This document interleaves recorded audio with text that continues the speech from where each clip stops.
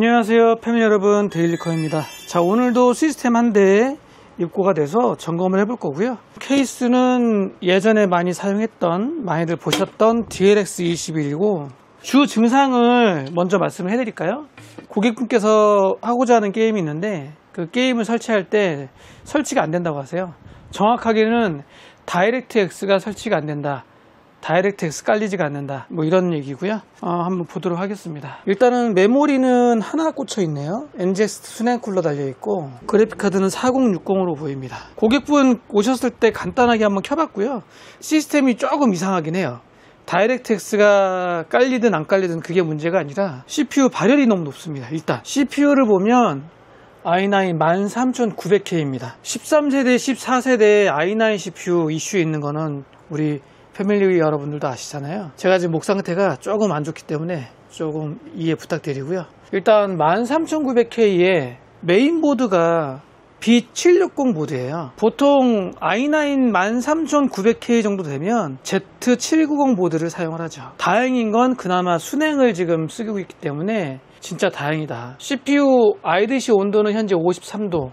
뭐 이런 건 문제가 되지 않는데 고객분 오셨을 때 같이 한번 시네벤치를 잠깐 돌려봤더니 딱 2초 컷입니다. 100도 찍는 게 1초, 2초, 100도 그냥 찍죠. 이렇게 해서는 안 된다. 이건 문제가 있다. 뭐 DirectX가 설치가 되든 안 되든 수냉 쿨러가 달려 있다 해도 가급적 Z보드를 사용하는 게 맞다. 어, 메모리는 8기가 밖에 안 되네요. 그리고 또 좀 아이러니한 게 최근에 동네 수리점에서 전부 다 업그레이드를 했대요. 그래픽카드 빼고 전부 바꿨다나? CPU, 메인보드 전부 다 싹다 업그레이드 했다고 합니다.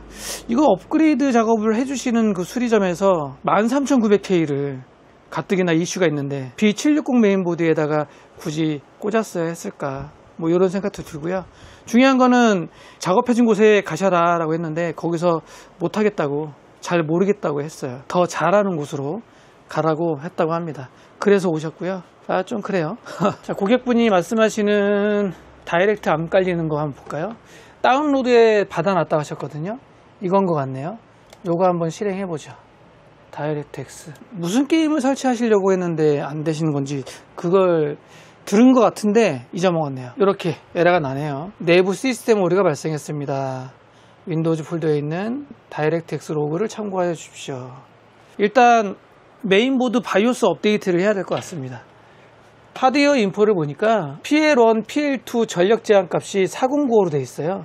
409호로 되어 있다는 얘기는 인텔 디폴트 세팅 값이 아니란 얘기거든요. 바이오스 업데이트 진행을 하고 다시 한번 실행을 해봐야 될 것 같아요. 바이오스 업데이트도 안 했네요. 아, 이분은 뭐 진짜 그래요. 바이오스 업데이트는 해서 출고를 해야죠. 2024 3월 버전이고요. B760M 박격포2 바이오스 업데이트 진행을 해보겠습니다. 일단은 벤치 프로그램 돌렸을 때 2초 만에 100도를 찍는다는 거 그거는 문제가 있죠. 지금은 업데이트 진행하려고 합니다. 2024년 3월 build에서 2025년 4월 build로 진행합니다. 자 일단 바이오스 업데이트 진행을 했고요. 바이오스 업데이트 하기 전에 고객분하고 같이 RealBench도 돌려봤는데 오류가 나왔거든요 똑같이 한번 역순으로 테스트 해보겠습니다. RealBench 한번 돌려볼게요. 그리고 바이오스 업데이트 하니까 전력 제한 값이 253W로 바뀌어 있죠. 인텔 디폴트 세팅 값으로 바이오스 버전이 업데이트 되어 있는지 안 되어 있는지 알고 싶으시면 hardware info처럼 PL1, PL2 값이 253이냐 181이냐 210이냐 4095냐 이 수치를 보시면 아실 수가 있습니다. 자 RealBench 종료됐고요. 어, 확실히 바이오스 업데이트를 하니까 오류는 없어졌어요. 기존에 바이오스 업데이트 전에는 인코딩 여기서 에러 났은가? 맞을 거예요. 인코딩에서 에러 났었고 그 다음 멀티태스킹 여기서도 에러가 났었는데 지금 에러 안 나네요. 자 그러면 Cinebench 한번 돌려보겠습니다. 기존에는 2초 컷이었는데 어떻게 되는지 보시죠.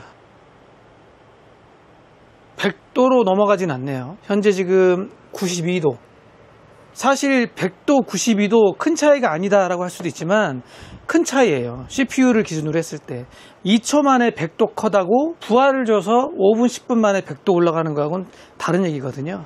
그리고 지금 크라켄 순행 달려 있는데 크라켄 앱이 깔려 있나요? 크라켄 앱도 안 깔려 있네요. 앱을 설치하고 다시 플레이를 해봐야 될 것 같습니다.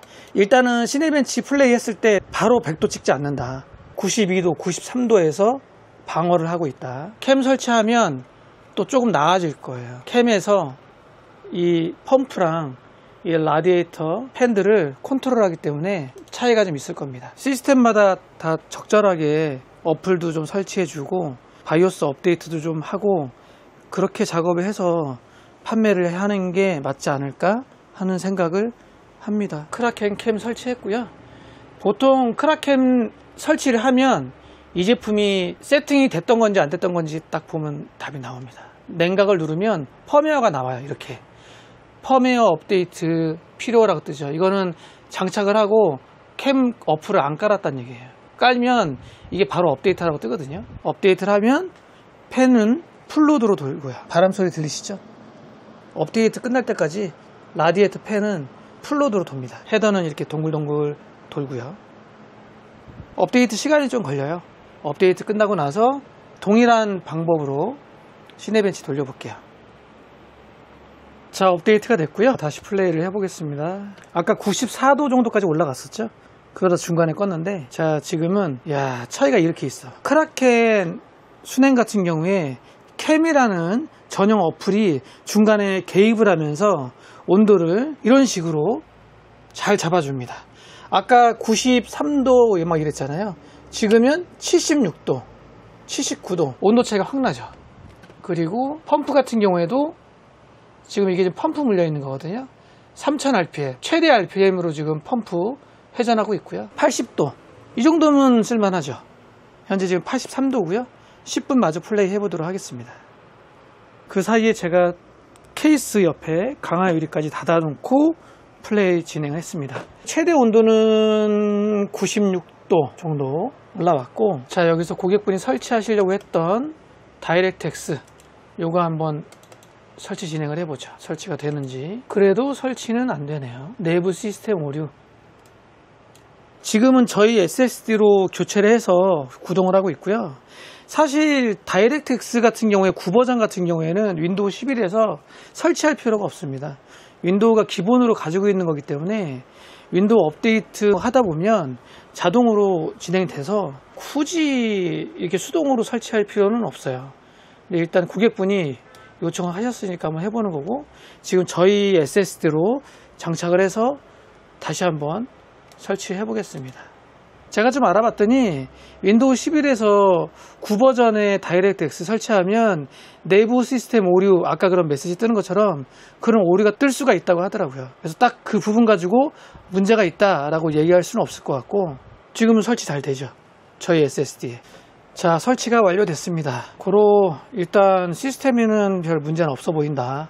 라는 생각이 들고 고객분 윈도우를 한번 밀고 다시 까는 게 낫지 않을까 기존의 DirectX 때문에 깔고 지우고 깔고 지우고를 좀 많이 하신 것 같더라고요. 뭐 이렇게도 해보고 저렇게도 해보고 뭐 레지스트리도 건드려보고 막 이랬던 것 같은데 그냥 깔끔하게 윈도우 재설치하면 해결되지 않을까? 그리고 어떤 게임을 설치하기 위해서 DirectX가 필요한 건지 무슨 게임을 설치하시려고 하셨는지 한번 문의를 좀 해봐야겠네요. DirectX 때문에 입고했지만 사실 그건 문제가 아니었고 CPU 온도가 너무 높았고 거기에 따른 수랭 어플도 깔려 있지 않아서 이런 것들이 좀 더 문제가 있지 않았을까? 이 상태로 계속 썼다면 CPU가 고장이 났을 확률도 높다. 특히 i9 13900K인데 그런 생각을 합니다. 처음에 고객분께서 입고할 때 나는 다른 거 다 필요 없다. DirectX만 설치가 되면 된다. 이렇게 말씀하셨거든요. 고객분 말씀으로 하자면 AS는 끝난 거죠. DirectX 설치 완료. 제가 아니다. 이거는 DirectX를 떠나서 일단 CPU 온도도 너무 높고 100도 그냥 찍어버리니까 바이오스 업데이트도 해야 되고 어, 수랭 잘 작동하는지 테스트도 해봐야 되고 여러 가지 해볼 게 많다 해서 조언을 드렸던 건데 사실 고객분께서 한 번 가지고 그냥 나가셨다가 오후에 다시 입고한 거거든요. AS 받아보겠다고. 원인은 그거죠, 뭐. 처음에 전체적으로 CPU부터 싹 다 업그레이드 했던 그 업체에서, 그 매장에서 이런 것들을 조치를 안 해줬다는 거. 그리고 문제가 있다라고 찾아갔을 때 자기는 모르겠다. 다른 데 가봐라. 라고 얘기를 하셨던 그런 좀 대처를 좀 미흡하게 하셨던 그런 것이 더 문제가 있지 않을까 생각을 하고요. 실 사용자분들은 뭘 얼마나 알겠어요. 작업을 해준 곳에서 어드바이스를 해줘야죠. 아는 한도 내에서. 고객분하고 통화를 했고요. 음, 일단 중요한 건 없다고 하셨고, 지금 고객분이 설치하려고 하시는 게 아이온하고 아까 또 무슨 게임이 있다고 하는데 그 두 가지를 설치하시려고 하신다고 하더라고요. 일단 깨끗하게 윈도우를 포맷을 하고 제가 기본 세팅 싹 다 해드리고 그리고 나서 고객분하고 함께 아이온 이런 게임 설치를 하도록 하겠습니다. 오늘 마무리 지으려고 했는데 아, 마무리가 안 되겠네요. 오늘 토요일이라 월요일 날 출근해서 이어가도록 하겠습니다. 자, 해당 시스템은 윈도우 깨끗하게 포맷하고 재설치 작업했습니다. 그리고 각 드라이버 세팅 당연히 업데이트 했고요. Kraken CAM 설정 완료됐고 그리고 나서 RealBench 돌려보는데 에러 없이 깨끗하게 잘 되고요. Cinebench도 정상적으로 플레이가 잘 됩니다. 점수는 약 한 3만 6천 점 정도 나오고요. 정상 범위 안에 들어가고 Cinebench 돌렸을 때 최대 87도. 자, 고객분이 말씀하셨던 DirectX 설치해 보도록 하겠습니다. 고객분이 다운받아 놨던 거 제가 복사해 놓은 거고요. 정상적으로 진행되는지 한번 해보죠. 게임은 고객분이 오셔가지고 설치해 본다고 하시더라고요. DirectX까지 설치되는 거 보고 고객분이 오셔가지고 게임 설치 작업을 할 것 같습니다. 시스템 같은 경우에는 여러 가지 복합적인 문제가 발생했던 거로 보이고 다 개선 작업을 해놨고 아마 게임도 잘 설치가 될 거라고 봅니다. 다이렉트X 설치 잘 되고 있죠. 처음에는 CPU 불량이 아닐까 생각을 했었는데 불량은 아니었고요. 물론 바이오스 업데이트 하기 전 모습을 봐서는 어 이건 CPU 문제일 수 있다 라는 생각을 할 수 있는데 인텔 개선된 버전으로 업데이트하고 나서는 잘 된다. 이 시스템은 이렇게 해서 마무리 짓도록 하겠습니다. 아직까지도 많은 분들이 이슈를 모르시는 분들이 많아요. 바이오스 업데이트 안 하고 기존대로 쓰다가 문제가 발생을 해서 입고되는 제품들도 상당수가 있습니다. 뭐 모든 분들이 다 유튜브를 보시고 정보를 찾아보시는 건 아니니까 앞으로도 계속 이런 시스템들이 입고가 되지 않을까 하는 생각을 하네요. 다른 문제가 발생을 하면 추가 영상을 찍어서 보여드릴 거고요. 그렇지 않으면 고객분하고 게임 설치한 다음에 이상 없이 출고하도록 하겠습니다. 자, 오늘 영상은 여기까지. 안녕.